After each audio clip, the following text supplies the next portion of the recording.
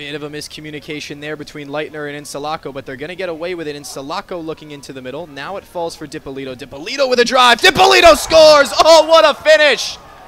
A fantastic strike from a sharp angle. It might have gone off someone on the way in, but how about that from the Fordham captain? We're level at Moglia Stadium. Connor Hearn. Connor Garrity.